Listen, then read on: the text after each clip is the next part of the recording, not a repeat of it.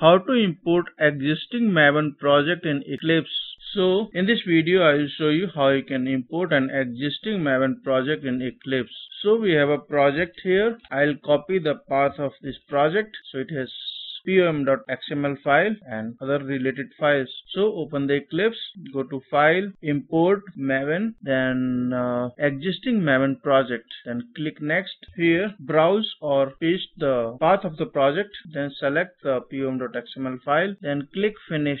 So you can see now the Eclipse is importing the project. So it is imported now and uh, you can see all these Java files are compiled and there is no error. This is an web application. We can right click and then run as then run on server.